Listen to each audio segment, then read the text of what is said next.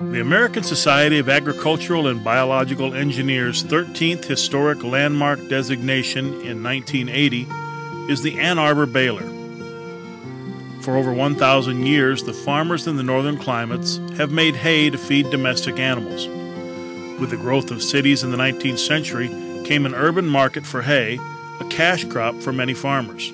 But making hay was weather dependent, time consuming, and strenuous transporting loose hay to market was difficult and inefficient. An obvious solution was to compress the loose hay into dense and more easily handled bales. Early balers were hand fed and powered with horses walking in a circle.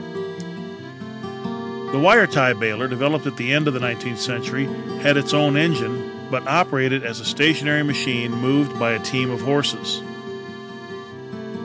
One man would feed the cured hay to the baler with uniform forkfuls of hay, being careful not to get the fork caught.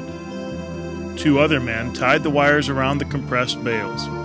At least four workers were needed overall. Field harvesting of hay was improved with the invention and use of a hay loader. The loader picked up hay windrows and elevated them onto the hay wagon. The hay loader smoothly fed hay to the men on the wagon, who carefully anchored the hay to endure the trip to the barn. In 1929, Raymore McDonald took the baling operation to the field. Financed by Horace Tallman and his sons, McDonald joined the functions of the hay loader and the baler into a single field machine that picked up the windrowed hay and fed it directly into the baler.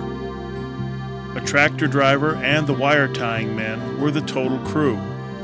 This new field baler reduced labor and accelerated the hay harvest to avoid bad weather. The first commercial pickup baler was marketed for many years by the Ann Arbor Machine Company. The windrow pickup mechanism was adapted to over a million machines by 1980. The Ann Arbor baler, manufactured in Shelbyville, Illinois, was purchased in 1943 by the Oliver Corporation. PH Manufacturing is the current occupant of this building, erected on the original site.